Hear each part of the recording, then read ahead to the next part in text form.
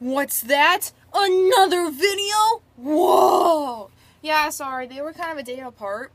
I wanted to film yesterday, but then it was gonna be really weird because that's like two videos in a row. And plus, this is the start of a new week, so why not? So, hey guys, it's Little Squonker, and Connor Franta really inspired me. Thanks to Connor's, Connor's new book! Connor's book Oh my god, Connor's book. This is where my inner fangirl is gonna come out, guys. Sorry, not sorry.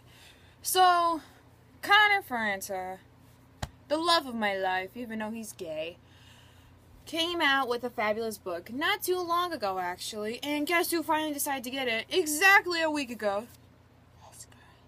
Anyway, so Connor Franta talks about in his book how you should really stick to what you're doing, basically and don't let anybody stop you and don't think that something as hard as making YouTube videos about on a weekly basis is really hard to go up to like a million subscribers.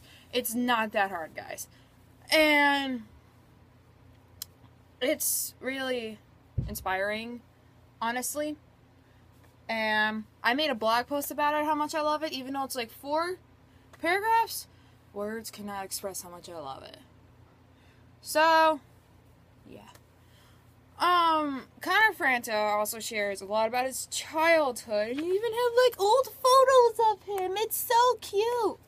You have old photos of him. If you see, if you follow me on Instagram, then in my other book channel, then you know I have a lot photos of him on And it's freaking amazing. Honestly, I love it.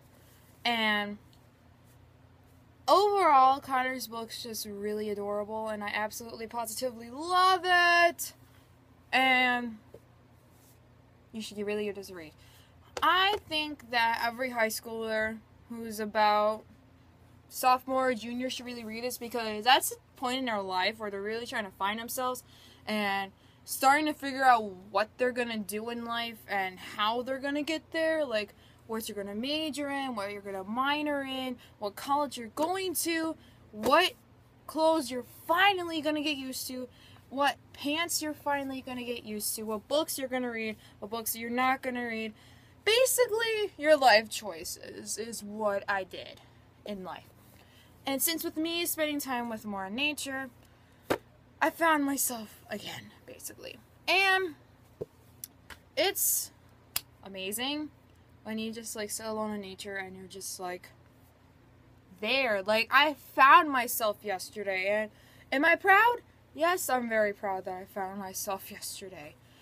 And I told my friend about it and I texted him as soon as I got home, guess what? And he's like, What? I found myself and he's like, Oh, like a question mark, like something different happened. And I'm like, and he said, go on. And I'm like, I basically found myself. Like, I made the life choices and I finally know what I'm to do in life. And he's like, do you want to tell them to me? I'm like, I guess. And I basically just listed all the things that I finally know what I'm to do in life. And he says, I'm proud of you, gave me the support, blah, blah, blah.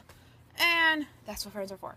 So, now that I finally finished The Work in Progress by Connor Franta, I'm finally back on Miss Peregrine's Home of Peculiar Children, and I'm gonna procrastinate. Let it snow again. Sorry, guys. I know. I don't know. I don't really know if I should read it. Honestly. Because, I mean, it's in the winter. And I think if I should read it, like, in cold weather, then it'll make 10 times more sense. I'm itching my back right now, sorry. And the Scorch Trials, just trailer just came out, and me and my friend were talking about the lightning, about the, um, what's it called? The Olympians. Sorry. And we were talking about the Battle Labyrinth, and now I didn't read it yet, and it's been quite some time since I've read the Battle Labyrinth, so I should really get started on that. And then I have The Last Olympian, and then I'm done with that series. That's really sad. Um, so, yeah. Um, comment below what books you want me to review next. And this video is about to go to 5 minutes like my usual. I'll see you guys next time. Sorry for the rant.